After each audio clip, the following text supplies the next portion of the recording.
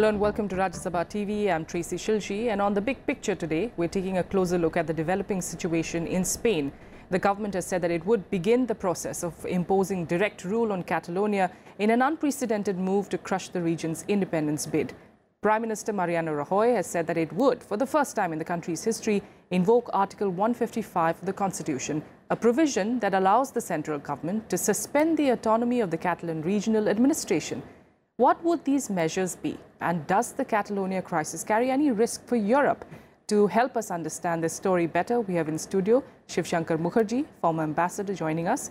We have Pramit Pal Chaudhuri, consulting editor, foreign affairs editor at the Hindustan Times, and also Professor Gulshan Sachdeva, who's from the Center of European Studies at JNU. Thank you so much, gentlemen, for joining me here on the big picture. Mr. Mukherjee, if I could start with you, just first of all, how do you assess the developing situation there? Was this on the anvil as you have been watching developments there? And what do you think is going to be, you know, the likely developments in the next few days? Well, to answer your last question first, yes. Uh, what is going to be the likely developments in the next few days? I don't think anybody knows, okay. not, not even the protagonists. Mm -hmm. I mean, the situation is so, uh, so much on tenterhooks uh, as we speak, in fact. Uh, uh, so, uh, this has been easily the probably the gravest constitutional crisis that Spain is facing. You know, and it's a relatively young democracy. It was only in 1978, after General Franco died, uh, and his dictatorship got, uh, I mean, was finished, that uh, Spain, uh, you know, promulgated its constitution and became a democracy. And it has 17, uh, what we call districts or states, uh, 17 areas, uh, of which Catalonia is one. And uh, from what I understand, the, the, the, movement for autonomy or, or something approaching independence or, or, or self-determination, call it what you will, has been around since the 1920s, 1922 or something. But it has obviously gathered steam only in recent years. Yes. Um, so there are, there are uh, I mean, nobody really uh, can assess exactly how, within Catalonia uh, how many are, uh, you know, the, the, the, the, government of Catalonia says that in the recent referendum, 90% voted for uh, independence. Mm -hmm. although the voter turnout may not have been that high. That's right. Just about But I mean, it's an extremely so. confused situation yes. where you have Catalonia and the government demanding independence, having declared to the government that if they use Section 155 of the Constitution, which you referred to in your report, to suspend its autonomy, then they will go ahead and formally declare independence. The state, in fact, has said that they will go ahead and impose direct rule if that happens. There have been noises coming out of the ruling government in Madrid that Section 155 will be imposed, but you know, uh, since nobody wants a head-on confrontation and violence and stuff like that, that there may be there may be options available which are graded, you know, implementation of Section 155. Things are up in the air. Uh, mediation by the EU has been ruled out. The mm -hmm. EU itself is scared because yes. you've got separatist movements uh, elsewhere in Europe. You've Absolutely. got Bavaria, you've got Flanders, you've got Scotland. Mm -hmm. uh, and uh, so as we speak, uh, my, my feeling is that, uh, and, and, and I'm, I'm, not basing this on any special knowledge uh, of, of what's going on there, but a, a kind of gut feeling that a, a, total confrontation probably will be avoided. Mm. Nobody wants, uh, you know, another cr crisis affecting um, not just Spain, which is one of the larger European countries, uh, but, but uh, Europe, which is already awash in, in problems of immigration, of yes. Brexit, of right-wing, uh, you know, sort of the right wings moving up and up in the political spectrum. Witness Austria recently. Mm -hmm. Nobody wants another huge headache, yes. particularly with others waiting in the wings with, with similar demands. All right. So, Professor Sachdeva, the answer really lies in what is what measures are going to be taken you know when article 155 is imposed what what does it entail because uh, you know it's pretty vague it's going to be imposed for the first time so no one really knows as to what it would eventually be like uh, on the ground when that is you know uh, imposed uh, can you give us an idea of what are the measures that we may be seeing well, I mean, you know, as you said, this is going to be used first time if it hmm. is going to be used. Yes. Mm, it basically means that uh, central government will take over, autonomy would be suspended. Uh, things which are uh, under the control of um, Catalonia, particularly education, health, police services, a uh, couple of other taxes, they would come under direct control. Mm, but you know, it's more political mm -hmm. rather than actually looking into certain sectors here yes. and there. Now, what what has been happening now for uh, for the last couple of weeks and couple of years, actually, one would say. Now, both sides are trying to, you know, kind of uh, push others, trying to resolve, trying to see the resolve from the other side. Now, autonomy in Catalonia has been up and down for the last hundred years. If you look before uh, a Spanish Civil War, there was a lot of autonomy. Then uh, during Franco's time, uh, it was suppressed. Mm -hmm. Since then, under different, um, you know, uh, you know, 70s and then again 2005, 6, some more autonomy were granted. Again, it was taken back in 2010, 11 uh, and they already, this was not the first kind of um, unofficial referendum. In 2014 also they had one referendum, which was also, I mean, they said people have. Now I think the, what is really is happening is uh, what Catalonian leadership is looking, I mean, as they have been saying again and again, that we are looking for some kind of dialogue with the central government. Now, obviously, when you're saying dialogue with the Spanish government, mm uh, obviously they are not going to negotiate independence with them. They also pretty know this. Uh, now, Spanish government so far, Union government has ruled out any kind of negotiation because what they have said is that you have done certain illegal acts which we don't accept mm. because this whole constitution, I mean, this referendum business was uh, never illegal? officially approved. Yes. Now, in this kind of murky situation, I think what is really they are looking for uh, from the union government they're putting pressure for agreeing on some kind of legally binding referendum. Now, which of course they do not want, I mean, so far they have given no indication of any kind. Uh, and I think why things have slightly calmed down, I would say, in the last two, three weeks is because uh, what, uh, you know, leadership in Barcelona was looking for some kind of support from some European countries or from EU which has been clearly ruled out because of various reasons which ambassador has also mentioned. So now since they are not, uh, I mean, uh, no kind of, uh, you know, help is coming from EU or from any other major European country and even from Russia, all have said that this internal Spanish affair, they have to work out certain solution within the Spanish constitution. Mm -hmm. So what it means is that uh, Catalonian government would be pushing for some kind of legally binding referendum which perhaps they may not agree, but within the Spanish political scene, I think apart from the you know the ruling uh, conservative uh, party, but there are other political parties. Okay. I think behind the scene there is certain kind of pressure on Spanish government from certain EU government and also from other political party parties to find some kind of solution. Now, mm. what that solution could be? Uh, maybe some kind of talk of uh, further autonomy mm. for Catalonia because still it's mostly a unitary government. So maybe in the long term, some kind of federation within Spain. Now, all these are speculations. We do not know anything about this because nobody has really kind of you know, opened these. Okay. But I think both sides would be kind of pushing for this. Now, whether they will make a compromise or actually what Spanish government at the moment is saying that if you have declared independence, then of course we will you know, uh, you know, uh, I mean, deal with we will, we will yes. um, take control of the situation, which in a very vague manner they are, they haven't said that uh, that you know. Now I think this will continue for okay. a couple of more days, mm -hmm. and we'll see by tomorrow if actually this happens. Mm. But I think my feeling is that they will try to find some compromise both sides. All right. Let's just talk about the role of Carles Puigdemont then, mm -hmm. Pramit. Uh, you know, yeah. he emerged as a hero of sorts after that referendum. Uh, he did speak very uh, strongly, uh, you know, when, when that vote actually came in. Like it was pointed out, he claimed to say that 90% of the people do want independence. Um, but, you know, as the days progressed, we did see, of course, the politician emerge. And, you know, through it all, give us an idea of the kind of role that he's played and even how you know his perception has also changed amid those who are actually rallying for independence. Yes, well, I think Puigdemont was helped uh, by a number of missteps by Madrid.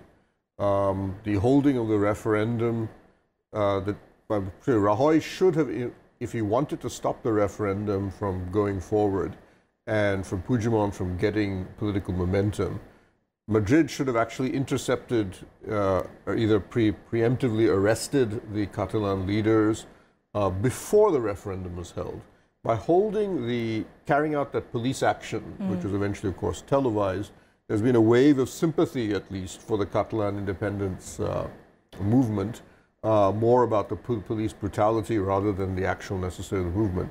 And as you've mentioned, while he's claimed that 90% of those who, who voted, uh, but the fact is only 43% of the electorate actually came out. So mm. you're really looking at only about 39% of the people in Catalonia actually voted for independence. But the police action, as was allowed, gave him the momentum to go forward to the next step, which was to make that declaration of independence, mm. uh, which he then immediately suspended. Yes. Uh, we assume Puigdemont is basically positioning, uh, building up these cards in preparation for what he hopes to be uh, a major set of, of negotiations with Madrid. So Rajoy, having made that initial misstep, is now becoming a lot more sensible about how he's handling this. Mm -hmm. So while, one is demanded that the Declaration of Independence be, be uh, annulled, uh, but he's more importantly, he's formed an alliance with the socialists. He doesn't have a majority in in uh, in the assembly, uh, but he's formed an alliance with the socialists who have joined him to agree in Article 155. So therefore, that way he's ensured uh, that the Catalans are, the Catalans and Puigdemont are essentially isolated within Spain. They have mm. no hmm. major party um, who is even taking a, a, uh, a, a, middle path regarding this. But the socialists have always argued that we are prepared for a dialogue with, with the Catalans, which uh, hasn't uh, uh, completely repudiated, at least a socialist position. So you see the possibility of some sort of a, a negotiation going on, mm. but I think it's pretty clear. To uh, my sense is that Rajoy, being representative of a conservative uh, right-wing party, uh, will see the dialogue as just a means to basically kill time until everybody forgets about this until the next round. Well, Puigdemont will actually, of course, seek some form of, of, of greater autonomy. Mm. Um, and I think that is going to be the test that's going to happen, where the two sides will having maneuvered each other into these various positions. Um, and I think, as Professor Sachdeva has mentioned, the problem for the Catalans is they're relatively isolated. The mm. Puigdemont has not been able to get, despite the police brutality, has not been able to get much sympathy outside of Spain. Yes. And definitely the rest of Spain. Uh, I've been struck by the a number of other parts of Spain which have had separatist uh, movements, like the Basques and so on, have been relatively quiet. Mm. Um, they haven't uh, said very much in favor uh, of the Catalans or, or, protested or said anything to favor them. Uh, there have been a few protests, but not mm. very much. So that so he hasn't been able to generate the kind of support I think he wanted to do outside Catalonia. Mm. So for right now, I would say the cards are largely slightly more in Rajoy's favor than they are in Puigdemont, but mm. we'll see how this plays out. Does it help that, of course, he presses these sedition charges on the police head of the of uh, Catalonia? Uh, he's also arrested two separatist leaders right. from there. Mm. Uh, does it help him to a certain extent, Rajoy, in trying to control that situation, or is it going to create more unrest and violence on the streets? Well, you know, at a time like this, mm. when uh, the situation is so uh, confused and full of threats and counter threats and so on, uh, even in a relatively developed country, these are threats being bandied about. Uh, one really doesn't know whether they'll be followed up on. I mean, certainly if, if uh, the leader, Puigdemont, is arrested on sedition charges, there's bound to be a backlash. Uh, there is a movement in Catalonia, there's no doubt about that. Uh, but I agree with my fellow panelists. Uh, this is, this is uh, uh each side trying to strengthen its position uh, to start behind the scenes perhaps now and, and, and then later on in the public domain start negotiations which will end up in certain advantages for one for both you know each side looking for Madrid looking for a continuation of the status quo with minor modifications and Catalonia perhaps walking back from its demand for full independence, but with not minor but major modifications hmm. and so on. So uh, that, that will play out, I think, very quickly. I mean, events have been moving so fast. Hmm. Uh, so we'll, we'll just have to wait and see. But do we see such charges, do you think such charges being imposed on even Carlos Puigdemont for that matter? Do you see, uh, you know, developments of that kind happening or is it, that It will depend on how the situation risk? evolves Okay. because sometimes, and we've seen this in God knows how many cases around the world, in Africa and Asia and in Europe itself, uh, in situations like this when, you know, it's called the law of unintended consequences. You do something and the consequences are certainly not what you expect them to be. Uh, I mean, the situation goes out of hand of uh, the control of the leaderships, and one, uh, I'm sure the saner minds on both sides will not want that to happen. Uh, so uh, there, there, there will be, I think, people who will want the rhetoric uh, and the demands to be moderated for a dialogue to start, even if it's behind the scenes. And I'm sure that's going on. There will certainly be, as uh, um, Professor said, uh, not overt, but, but behind the scenes action from other European countries, the leaders like, like Germany and France and so on, who will maybe not take sides, but certainly take the side of, uh, you know, a dialogue, uh, you know, a toning down of rhetoric, sitting down on the table and talking. Uh, but certainly, what I said earlier uh, in my first intervention, there is a regional dimension to it. There is a European dimension to this, and Europe is watching very, very carefully. And I think behind the scenes, there's a lot of talk going on uh, because this has an echo in a number of other European countries. Uh, absolutely. And uh, Professor Sachdeva, uh, is that why, is that the reason why the EU has, you know, refused to mediate in any way uh, when it comes to this particular situation?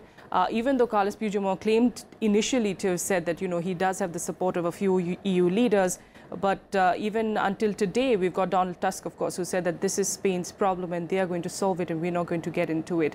Uh, this is, of course, a calculated move because you really don't want to get into something and then you'll have to deal, it, deal with it in other countries as well. Well, I think European uh, leadership and the European elites, uh, they are in a very difficult situation. One is that, uh, you know, in the past, if you look at these kind of independent movements, uh, to some extent inside Europe and outside Europe, you know, most of the European leaders and their uh, legislatures in most of the countries, they were quite sympathetic to them. Mm, now what is happening something is happening with with the with their own member state uh, the the issues of national sovereignty and territorial integrity are at stake Mm, so they have taken so far a kind of balanced kind of situ you know position on this but i'm i'm sure they are quite uncomfortable with the kind of scenes what you see on barcelona I mean, there is an independent movement which, of course, is there in uh, Catalonia. There was police brutality, which is a fact. Now, for European leaders, um, ignoring those kind of images is not an easy task. So, obviously, I think for them, it's a it's a uh, you know that's why I was saying that there must be even if they are not saying anything directly, I'm sure there must be some pressure on Spanish leadership to find certain solution to this uh, and things should not really go out of hand in Catalonia, which obviously will have implications for many other uh, these kind of movements within Europe as well as also outside Europe. And if you look at their past position, whether on Kosovo uh, or uh, even uh, on Crimea, now those were, of course, one can always find different context. Uh, but you know, the situation is becoming very, very complicated for the European leadership also. Now, how Spanish leadership is going to manage, uh, that of course would be very crucial uh, um, because ultimately, if they uh, if they do declare independence, or even if they do not declare clear-cut independence, but somehow in the next couple of days, I mean, uh, direct rule is kind of implemented. Now, what what is the next step after this? You implement direct rule, then uh, you know the further uh, Uh, you know, movement would be strengthened further with those kind of, uh, you know, uh, you know, actions. Hmm. And then what would happen next? Well, ultimately, you can't have direct rule forever. Hmm, hmm, you know, in a couple of weeks or couple of months, you again you have to have elections. Yes. And if after election these leaders again come back in Catalonian Parliament, then you're back to square one where you were before. Uh, I mean, you know, it's so it means things are complicated. So how do they really resolve this? Nobody has, uh, you know, we do not know at this point of time. But I'm sure uh, they will try to find some kind of compromise, and I'm I'm sure even Catalonian leaders is also they also know the limits. So they are trying to find a way in which ultimately down the road, maybe after two years, three years, five years, some kind of commitment that we can have a legally binding referendum, which they may not get today. You know, step by step, this is what perhaps I think their uh, their ultimate goal would be. And while doing this, now as a result of Catalonian movement, now even the in the right wing party is also becoming more stronger within uh, Spain, which they were not before, because now the nationalistic issue. So you know this will have impact on the overall national politics within Yes. Europe, uh, within Spain, and then within Europe, and of course then the European positions on these kind of independent movements outside Europe as well. Now even Russia has supported clearly that this is a Spanish, uh, you know, internal affair. But immediately they have also pointed out that you know EU took very different position on Kosovo, and similarly the Serbian, uh, you know, the prime president has also said the same thing. Interesting, you bring up the right wing politics angle because, uh, you know, I was reading various articles on this, and one of them, in fact, a few of them, in fact, was saying that this is not just a fight for nationalism, there's something more at play here. Do you agree? Well, the point is that Spain, the the, the present uh, fissures in Spa- Spanish politics arose from the 2008-2009 financial crisis. Um, there had been, you know, Cat- Cat- as was mentioned, the Catalan independence movement has gone back to at least the 1930s. Uh, but actually, before 2008-2009, Spain's economy had been booming. The Basques, who had been the, the separatist movement that had, that had plagued Spain for almost for several decades, and ETA had actually been a terrorist organization uh, that the Basques had uh, that had generated uh, out of that, as opposed to the Catalans, who are otherwise uh, relatively uh, non-violent. Uh, had that even that movement had more or less you know, had given up uh, its uh, its attempts to form a separate uh, Basque state. Um, but after 2000, 2000, uh, 2008, 2009, you saw both within the uh, Spa- Spanish mainstream the rise of an insurgent, insurgent party, the Podemos, who was basically denounced both the socialists and the, and the conservatives and argued for uh, a, completely a, a revamp of Spain and a sort of left-wing uh, um, anarchist uh, sentiment uh, uh, response. Uh, but then you also see that Catalan, Catalonia, which is the richest province in Spain, uh, we started to see a sense of uh, Catalonian independence movement starting to get traction that we could have been better off if we'd been outside of Spain. Um, and so a lot of this, this feeds into uh, that's fed into that point is that European eurozone is actually now beginning to recover economically from that from the one the great global financial crisis followed by the eurozone crisis. And now, if you look at the OECD figures, almost every European country, for the first time, has has positive economic growth rates. Okay. Uh, and all the major uh, European economies definitely uh, are starting to see uh, an uptick in growth, and the, definitely the G7 members. Um, uh, Brexit has been the only really uh, destabilizing influence, but the impact of Brexit will be largely negative to Britain more than it will be to, to continental Europe. So I think for, for if I'm in Madrid, um, having made one major misstep in terms of uh, allowing, uh, uh, waiting too long on the referendum, uh, if I'm Rajoy, I will, I will expect that the rest of Spain will to me politically. I'll be in a much stronger position regarding Podemos uh, in the next election. Uh, but also, if I can just delay, and if the Spanish economic recovery takes place, remember, other thing that that Puigdemont has to face is that Catalonia is face he's facing economic pressure. Yes. Uh, last count, over 700 companies have relocated out of Barcelona That's for right. fear that they're going to be stuck in a small regional state that is neither a member of the European Mm-hmm. Union or a member of Spain Mm. or, or face uh, a political crisis of some variety. So you're seeing, and, and uh, tourist, uh, tourism, which is many ways the sing, one of the single dipped, largest, yes. has dipped uh, quite dramatically. So if I'm a Barcelonian, I'm sitting there thinking, this is, I'm not too sure this is worth it. Okay. So that as time plays out, it's, I would say, it would it be Rajoy's uh, favor that he basically delay. Uh, Hmm. Okay. the longer he delays, the economic pressures on Puigdemont uh, get higher, Mm-hmm. um, and his ability to isolate Puigdemont, whether in Catalonia or elsewhere, uh, will probably increase. All right. So there have been missteps, of course, from both sides, and we hope and uh, you know we'll we'll hope that eventually both sides, in fact, react to the developments at the moment, and a dialogue takes place, and things do settle down for Spain at the moment. Well, that's all the time we have, uh, gentlemen. Thank you so much for joining me on the big picture. Well, uh, Spain is a country that has seen three civil wars, in fact, in the last 180 years. So they definitely know how things unrest eventually develops into something bigger. And we hope uh, that at the moment, uh, the Mariano Rajoy government does decide on dialogue rather than taking stern actions. That's it for the moment. Thank you so much, though, for joining me on the big picture.